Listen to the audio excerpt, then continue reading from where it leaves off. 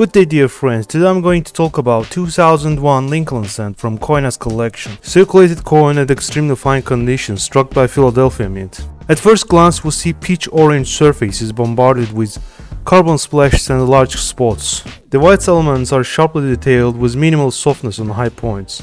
Focal areas of the head are free from contact marks, while on lower part we see numerous bag marks and notches. Reverse side exhibits more orange red reflectivity as compared to obverse. Device elements are sharply detailed with almost no rub on surfaces. Here we have two large carbon spots, one on the roof of memorial and other on the lower part of letter T of face value. And tiny gray explosion all over the fields.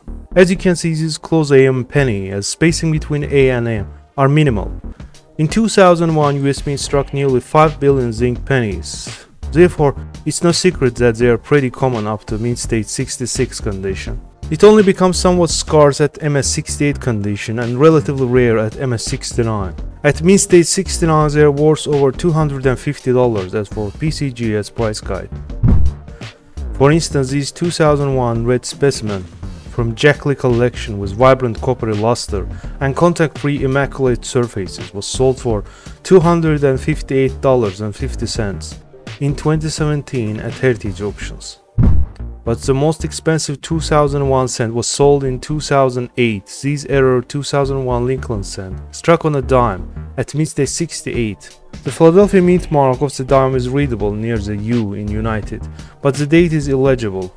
Roosevelt gazes northeast relative to Lincoln Memorial. The flame on the torch flickers on Lincoln's shoulder, dazzling luster, and undisturbed surfaces confirms a lofty grade. It was bargained for $1,552.50 also at Heritage Auctions.